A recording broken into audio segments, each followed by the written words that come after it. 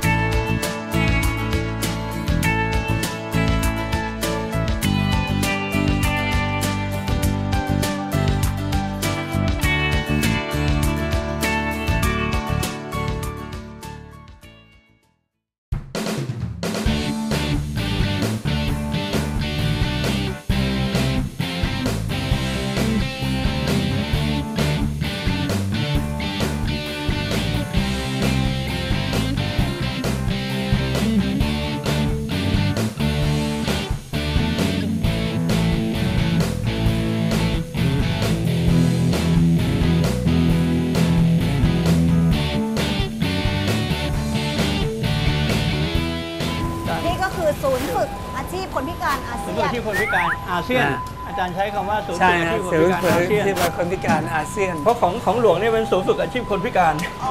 อันนี้ของอาจารย์เป็นอาเซียนโลเคที่ชั่นดีที่มากเราๆใช้เลยนะคะ อาเซียนเพราะว่าครับ มันมีอ่าเครือข่ายคนพิการด้วยกันโอ้อาจารย์ที่เขาสนใจ มีแขกเยอะเลยอาจารย์อ่าที่จะ ไปในนี้ก็คือร้านกาแฟ มานี่คือมาใช้บริการยิ้มสู้คาเฟ่อาจารย์คาเฟ่นะยิมซูคาเฟ่ ตรงนี้เป็นศูนย์บริการคนพิการทั่วไป ใช่ฮะทั่วไปนะอาจารย์อ่าแต่ว่าทางนี้ก็ตรงนี้ก็เป็นมูลนิธิของอาจารย์จะเป็นมูลนิธิอ่าสากลเพื่อคนพิเพื่อการคนพิการด้วยใช่ครับแล้วก็เป็นร้านอาหารด้วยะฮะเป็นที่ฝึกอาชีพที่ฝึกคนอาพิชีการพด้วย ใช่ฮะ โอ้มาที่นี่ได้ครบที่นี่ได้ครบเลย ครับ แล้วก็ล่ามภาษามือก็อยู่ตรงนี้ ไหนอ่าคะ นี่ไงอ่า ที่นี่เครื่อง PTRS เนี่ยอ่าไอ้เครื่องนี้อาจารย์ใช้ใช้ยังไงอะ เพื่อให้คนหูหนวกคุยกับคนหูดี อ่าอาจารย์ลองอธิบายให้ฟังหน่อยมันเป็นยังไง อ่าคือเวลาคนหูหนวกมาใช่ไหมฮะครับค่ะเขาใส่รหัสของเขาเข้าไปกดเข้าไปปุ๊บค่ะ อ่าร่ามก็จะโผล่ขึ้นที่หน้าจอค่ะ ใช่ไหมฮะบัตรนี่คือบัตบัรตรประบัตรชาคือ ชนหรือว่าบัตรคนพิการอ่าก็บัตรเลขประชาชนธรรมอ๋ดาอค่ะทีนี้บัตรบัตรนี้หรือเป็นเขาบัตรใช้กดเอาก็ได้อ๋อกดเลข 13 หลักหรือไงอาจารย์ นะฮะใช่ฮะอ๋อหมายความว่าเขา คนคนพิการเนี่ยก็คือมีบัตรคนพิการแล้วมีเลขประชาชน 13 หลักอใช่ยู่ ใช่ใช่เพราะว่าเขาเขาต้องเป็นสมาชิกก่อน อ๋อ เพื่อเพื่อไม่ให้ใครใครมาใช้อ๋อมั่วไปหมด หมายถึงว่าต้องเป็นคนหูหนวก ต้องเป็นคนหูหนวก ที่ค่ะเป็นสมาชิกที่เป็น แล้วก็จะมีสมาชิกเลขตัวนี้มา อ่าแล้วก็ก็มากดกดปุ๊บอ่าร่ามก็จะโผล่ขึ้นที่หน้าจอค่ะ นะฮะค่ะ แล้วมันจะไอ้ไอ้ตู้มันจะมีกล้องส่องอืม ใช่ไหมฮะครับ นู่นใช่ไหมแล้วพคะอพี่คิด คนหูหนวกทำภาษามือค่ะ อ่าล่ามก็จะแปลให้เราฟัง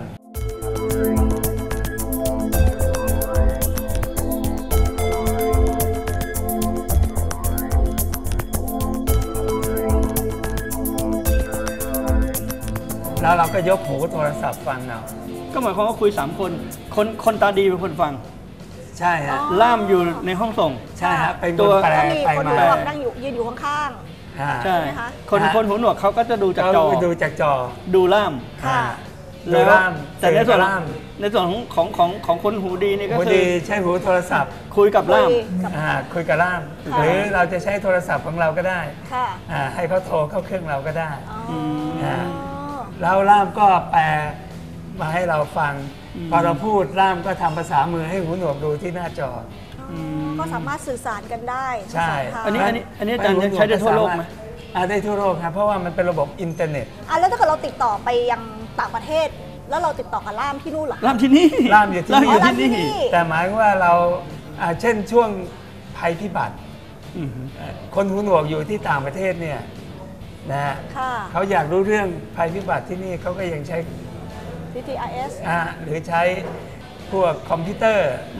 พวกอะไรพวกนี้ได้หมดนะฮะทีนี้อาพจารวกย์มือถือ iPad ได้หมดไอ้เครื่องนี้เนี่ย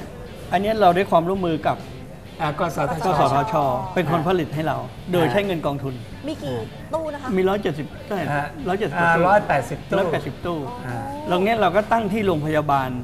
ของรัฐอ่าทั่วประเทศ โรงพยาบาลโรงพยาบาล ตั้งอ่าตั้งโรงพยาบาลที่ที่คนพมหูจหนวกไปใช้กันพมเยอะจจังหวัที่ดพมจจังหวัดอ่าที่ไหนก็ได้ที่หูหนวกที่คนที่คนอยู่เยอะอ่าใช้กันเยอะสถานหน้ากลมที่ราชการกลุ่มหน้ากลมหน้ากลมก็มีๆอ่าแล้วก็ห้างสรรพสินค้าครับอะไรพวกนี้ฮะค่ะไอเนี้ยเป็นที่มาก็คือว่าอ่านี่คำว่าศูนย์บริการตามกฎหมาย อ่า ต้องมีเครื่องพวกนี้ไว้บริการ แล้วก็อย่างที่บอกว่าไอ้ศูนคย์รับบริการที่ที่ผ่านมาเนี่ยศูนย์บริการของเราเนี่ยอ่าอยู่ที่สารกลางอ่าสี่โมงครึ่งมันปิดไงเครื่องนี้มันถูกดูล็อกมันไม่ใช้ไม่ได้จริงๆจริงๆอะเครื่องยังเปิดอยู่แต่สถานที่มันสปิถานดที่ต่อไปมันก็เลยย้ายไปอยู่ที่ห้างนี่ไงมากขึ้นเรื่อยก็เลยอาจารย์อ่าเลยกฎหมายเนี่ยก็เลยอยากจะให้สร้างแล้วคนพิการเขาจะได้บริการกัน จะได้ใช้ได้ตลอด 24 ชั่วโมง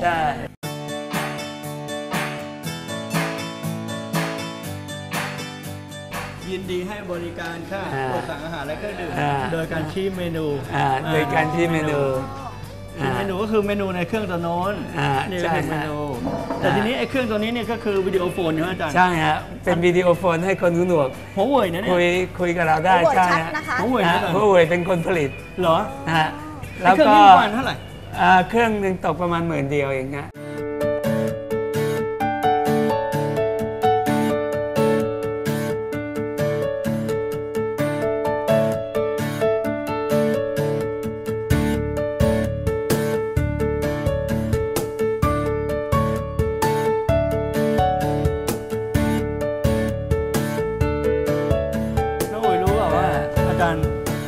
อ้สำหรับหูเนี่ยวันนี้เนี่ยคนพิการหูมากกว่าคนพิการตา แต่ทำไมคนพิการหูไม่จบฮาร์วาร์ดอย่างอาจารย์ เห็นไหมมีข้อสังเกตไหมเพราะอุปกรณ์พวกนี้มันเพิ่งเกิดอ่าดังนั้นเนี่ยถ้าอุปกรณ์พวกนี้ในอนาคตเนี่ยคนหูเนี่ย แต่วิทยุเนี่ยมันลูกลูกศิษย์อาจารย์นะต้องบอกกันหน่อย อ่านายกสมาคมอะหูอะอ่าเขาบอกเขาไม่เห็นด้วยเขาบอกคนใช้น้อย คนใช้น้อยแต่จริงๆไม่ใช่ แต่ก็ลืมไปว่ามันคือ สิ่งที่ต้องมี access อ่าค่ะใช่ แล้วเป็นการลงทุนที่ถูกที่สุดหมื่นเดียว อ่า ใช่ ถูกมาก หมื่นเดียว ฮะแล้วมันจะไปติดตั้งอย่างเช่นไอ้ไอ้สถานแพทย์ฉุกเฉินอะไรเนี่ย ถ้าสถานมันง่ายมันไม่ต้องใช้าพื้นที่เยอะ ใช่ใช่ ถ้าแพทย์ฉุกเฉินขืนไปใช้เยอะก็คือคนตายเยอะใช่เดี๋ยวอาจารย์เดี๋ยวเราอันนี้เราวันนั้นเราเห็นอนุบอร์ดครับว่าทบทวนให้ทบทวนนะอ่าลองคุยกันดูแล้วก็อันนี้ผมใช่ ผมว่าจำเป็นหนึ่งเหมาะมากค่ะ กฎหมายด้วยสิทธิ์นะเดี๋ยววิทยุโดนฟ้องตายเลยอ่าใช่ถูกไหมใช่อ่ากฎหมายเรื่องสิทธิ์เนี่ยเป็นสิทธิ์ของเขา เพราะว่ามันมันมันเป็น access อะมันเป็นสิ่งอำนวยความสะดวกครับใช่ ให้กับอ่า คนพิการทางหูที่เขาครับจะใช้ได้ อาจารย์ทีนี้อ่าในตึกนี้มีอะไรบ้างเนี่ยอาจารย์อ่าในตึกนี้เราจะมี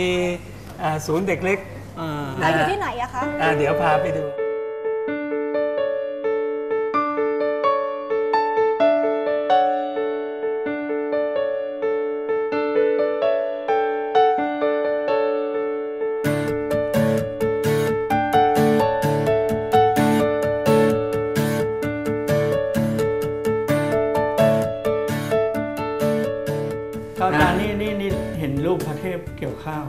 ใช่สวยไหมน้องอุ๋ยสวยนะสวยใช่มาครัก บเป็นภาพวาดที่ปากอ้าวของคุณธนงโคตรชมพูฮะใช้ปากว่าอ่าอันนี้โซนหอศิลป์นี้จะเป็นงานศิลปะที่ทำโดยคนพิการทั้งหมดอืมนะฮะอาจารย์ธนงนี่เป็นเขาเรียกว่าเป็นคนพิการทางอ่ากล้ามเนื้ออ่อนแรงกล้ามเนื้ออ่อนแรงเลยใช้ต้องใช้ปากวาดใช่ฮะเพราะว่าเป็นศิลปินเลยเนี่เพยราะว่ากล้ามเนื้ออ่อนแรงตั้งแต่ท่อนคอลงไปเหรอ โอ้นะฮะเพราะฉะนั้นมันก็ที่ใช้งานได้ก็เหลือแต่ปากอืม นะฮะก็เลยใช้ปากวาดแล้วงานศิลปะของคุณธนงเนี่ย ถูกรวบรวมไว้ที่นี่ทั้งหมด เดี๋ยวอ๋อเหรอจะพาเยี่ยมชมนะโอเคครับ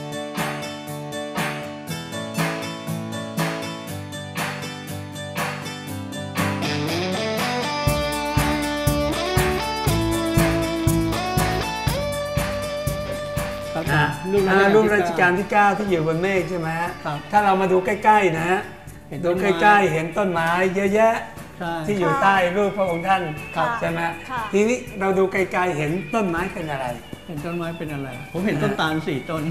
เออต้นไม้ทุกต้นเลย ต้นไม้เราเห็นต้นไม้ทุก อ๋อต้นเป็นอะไรเป็นลูกคนได้อ่าลูกคนได้กำลังเขาเรียกอะไรอะถวาย อ๋อ กล้อง อ่าถวายความเคารพใช่เออใช่ใช่ใช่ใช่ทุกต้นเลยฮะ เออใช่ ยิ่งดูไกลยิ่งยิ่งไกลยิ่งชัดเลยอ่าเออเป็นแล้วเป็นมีจุดพลุอ่า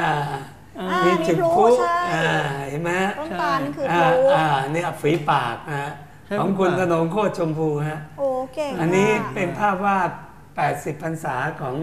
ในหลวงรัชกาลที่โอ้9ให้เห็นว่าอ่าประชาชนเนี่ยกราบไหว้เฉลิมฉลอง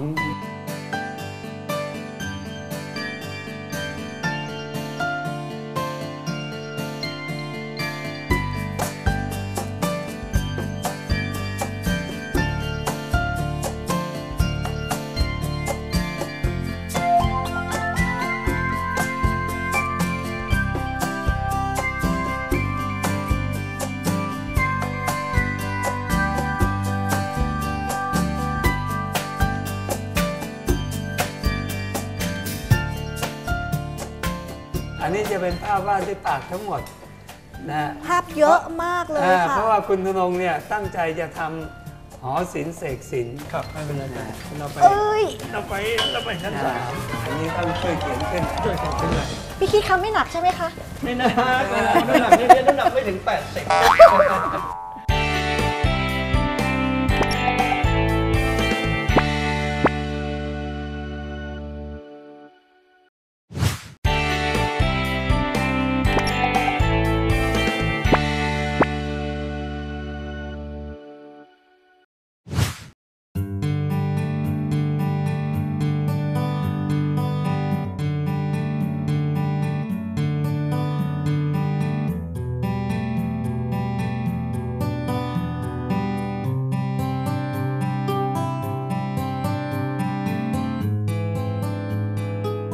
ห้องนี้จะเป็นห้อง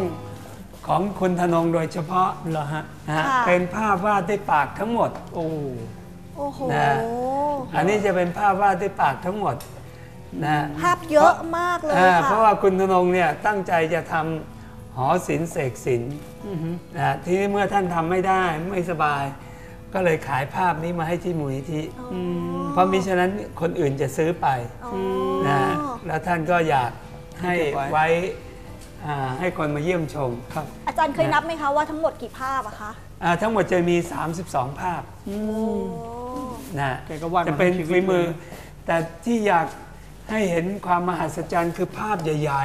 เนี่ยเนาะๆอ่าภาพใหญ่ที่เป็นฤดูกาลน่ะนู่นไหมคะ ภาพสามฤดูเนี่ย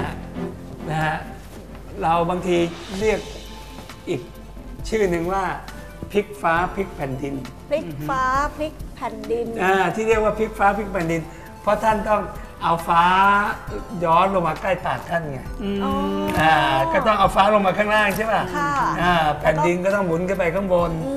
อ่าเวลาจะวาดแผ่นดินก็ต้องพลิกแผ่นดินลงมาอ่าเอาฟ้าขึ้นไปข้างบนโอ้เจ๋งอะ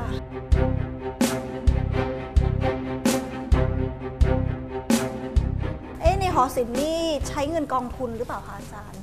อาหอศิลป์นี้การทำขึ้นมา อ่าเราพอดีเงินกองทุนใช้ไม่ได้ เราเลยต้องไปพึ่งแบงก์กรุงเทพแทน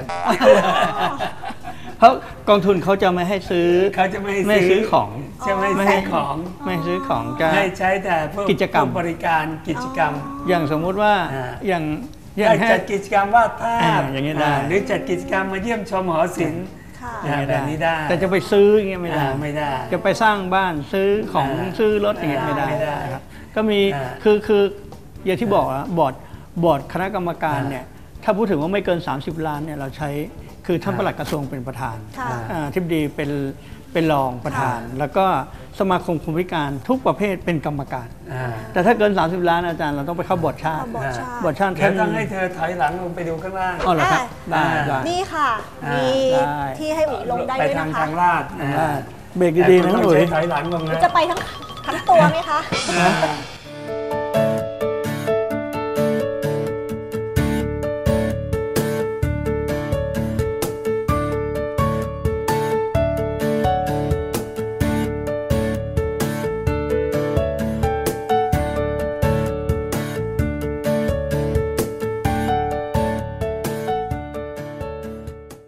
คือเราอยู่ในชั้น 2 ของหอศิลป์ใช่ ทราบว่ามีชั้นใช่3ด้วย ชั้นสาม จริงๆอ่าหอศิลป์เราเนี่ยอ่ายังมีโซนอื่น แต่มันยังไม่เสร็จครับไม่เป็นไรเราไปเอ้ย เราไปเราไปชั้นอ่าสามอันนี้ต้องช่วยเขียนขึ้นแล้ว ช่วยกันขึ้นเลยพี่คิดคำไม่หนักใช่ไหมคะ ไม่นะโอ้น้ำหนักนี่น้ำหนักไม่ถึง 80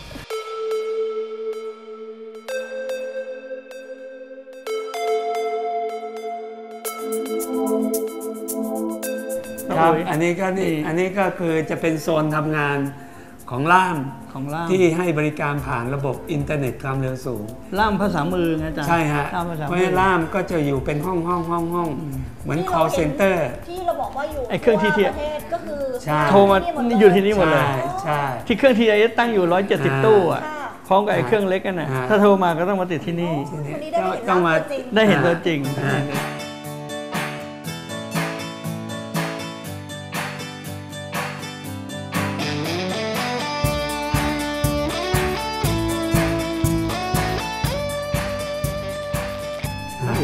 เป็น center ที่อ่าแล้วแล้วล่ามทั้งหมดเนี่ยเป็นคนพิการมีไหมในสามไม่มีฮะไม่มีเป็นเพราะว่าล่ามมันต้องเป็นคนคนเป็นคนปกติดีโอเค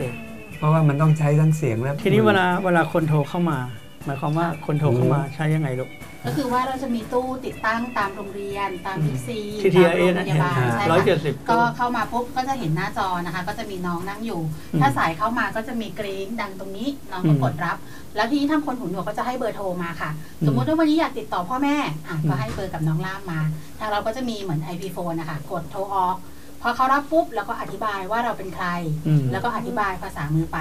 น้องที่เป็นคนหูหนวกนะคะ ก็จะอืมแจ้งความต้องการเป็นภาษามือกลับมา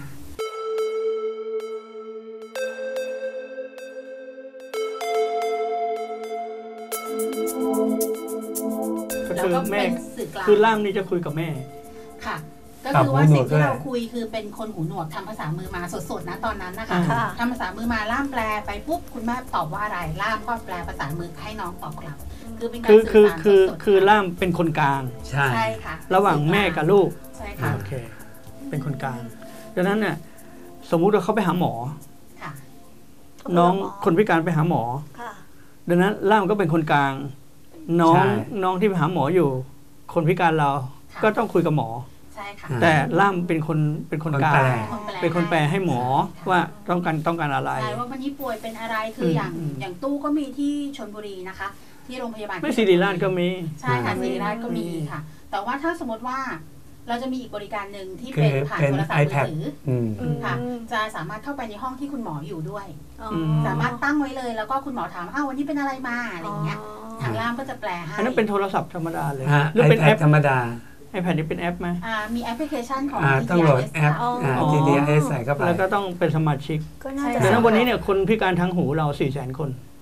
มีสมาชิกเท่าไหร่ สมาชิกประมาณหมื่นหนึ่งได้ยังไม่ครบค่ะ โอ้อ่า ทำไมทำไมถึงเขาเรียกอะไรยังเข้าไม่ถึง เออเข้าไม่ถึงเพราะว่าเครื่องนี้มันเพิ่งเพิ่งเริ่มดำเนินการได้กี่ปีนะคือ คือคนที่จะเข้าถึงเนี่ย ต้องเป็นคนหูหนวกที่เรียนหนังสือ อ๋อต้องมีที่ความใช้รู้ภาษามือ ค่ะ ทีนี้คนหูหนวกส่วนใหญ่ ก็ไม่ได้เข้าโรงเรียนอืมนะเพราะฉะนั้นมันก็เลยจะมีข้อจำกัด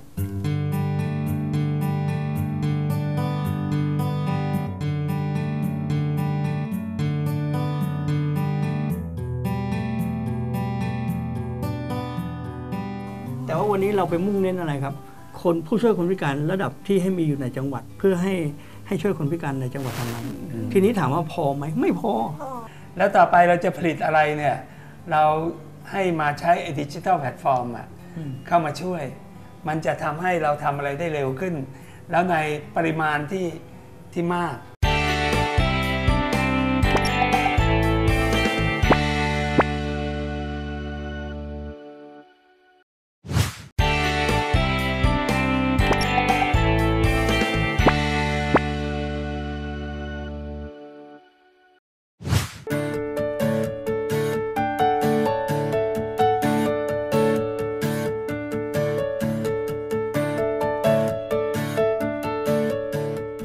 วนของอย่างถ้าเกิดคนหูหนวกที่ไม่ได้เรียนหนังสือ แล้วมาใช้ TTRS นี่จะสื่อสารกัน คือไม่ได้ เพราะว่าทั้งเขาเสีไม่ยงรู้ภาษา มันต้องรู้ภาษาไงมืออ๋อปัญหาไม่คือรู้อย่างที่บอกว่าภาษามือวันนี้ปัญหาคือว่าร่างภาษามือเนี่ยเราไม่พอนะอุ๋ยค่ะร่างภาษามือทั้งประเทศเนี่ยเรามีแค่ 600 กว่า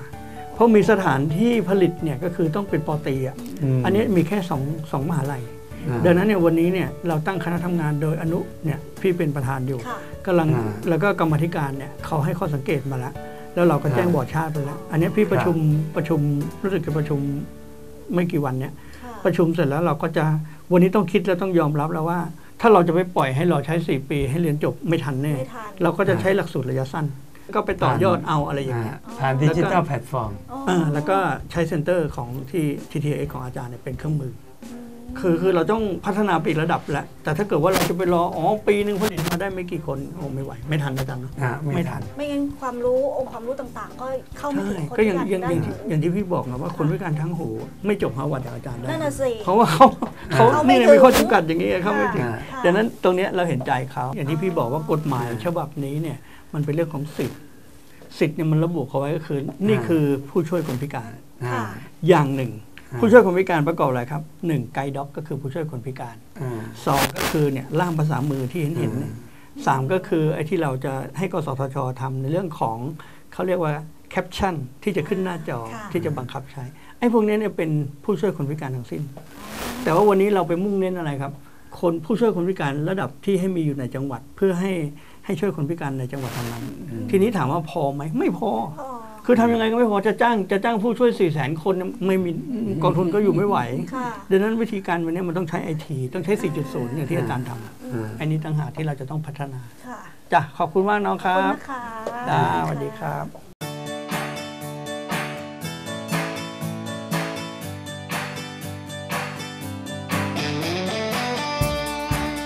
พี่คิดท่านแล้วอย่างนี้ถ้าเกิดเรามีเครื่องเยอะมาก แล้วล่ามจะเพียงพอไหมคะในการที่อ่าจะล่ามก็ก็ต้องเพิ่ม แต่ว่าจริงๆ แล้วมันมันมีวิธีการเนี่ยอาจารแต่ย์แต่อย่างแต่แต่แต่อย่าลืมว่าล่ามอยู่ที่นี่อะค่ะมันจะให้คุณภาพอะดีกว่าล่ามตามตัวถูกสมมติว่าล่ามตามตัวไปหาหมอเนี่ยใช้เวลา 3 ชั่วโมงอ่าครับแต่คุยกับหมอจริง ๆ 10 กว่านาที เสียค่าใช้จ่ายเดินมากทางมายเยอะอ่ามากแล้วต้องเสียค่าใช้จ่าย 3 ชั่วโมง 900 บวกค่าพาหนะ ซึ่งวันนี้เราก็เดินทางมาดูที่นี่เป็นยังไงบ้างคะที่คิดมองแล้วอ่าก็ก็น่านี่จะเป็นเป็นตัวตัวออย่างย่างให้เป็นตัวกับอย่างศูนย์อื่น ใช่แล้วก็ใช้ไอทีเป็นเครื่องมือ ใช่ เพราะว่าโลกเรามันมันไปแล้ว มันไปแล้ว วันนี้ถ้าเราจะมัวแต่สร้างอบรมผู้ช่วยคนพิการมันก็ต้องนู่นนะครับอ่าล้านแปดอะถูกไหมอาจารย์ใช่มันต้องใช้ไอทีเข้ามาช่วยตามนโยบายใช่ของรัฐบาลใช่ที่แล้วก็บูรณาการแล้วเนี่ยเห็นไหมใช่กสทชก็มาลงทุนใช่ ทำให้เห็นเป็นรูปธรรมอ่า ต้องต้องต้องบูรณาการ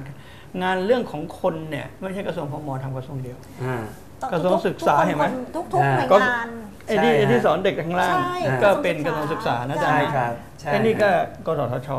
ใช่ฮะดังนั้นกระทรวงพมเนี่ยเป็นตัวขับเคลื่อนครับในฐานะที่ฮะที่เป็นตัวเคลื่อนในตัวกฎหมายอ่าประสานดำเนินการโดยอ่ากรรมการ ค่ะเท่านั้นคือหนึ่งแล้วบอร์ดการชาติผมเป็นผมเป็นอ่าเลขาใช่ใช่ไหมแล้วก็แล้วการบูรณาการเนี่ยก็มาบูรณาการตรงต้องปฏิบัติหน่วยให้บริการ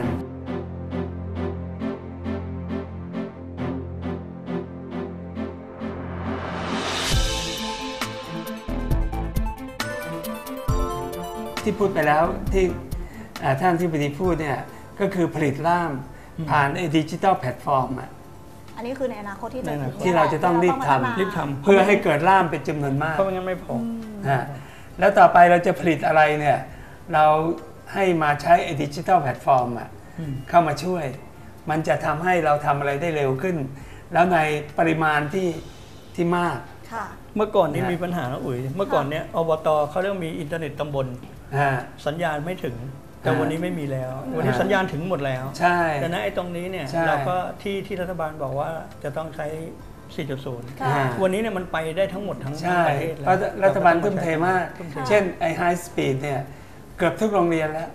เข้าถึงเข้าถึงค่ะแล้วแม้แต่การปฏิรูปการศึกษานะท่านอธิบดีครับที่ผมอยู่ในกรรมการก็จะเน้นดิจิ t a ลแพลตฟอร์มก็หมายว่าเราผลิตเอาอาจารย์เก่งๆอะครับมาสอนสอนสอนสอนสอน แล้วเราก็ใส่ไว้ในดิจิ t a ลแพลตฟอร์มครับ แล้วใครอยากเรียนก็มาเปิดเรียนเรียนเรียนเรียน แล้วก็ใครเรียนเร็วก็ขึ้นไปเรื่อยๆ ส่วนคนที่เรียนช้าเนี่ยคุณครูก็เข้ามาช่วย ครับ อืมค่ะครับ งั้นวันนี้เราสองคนต้องขอขอบคุณขอบคุณมากอาจารย์ขอบคุณมากอาจารย์ขอบคุณมากครับ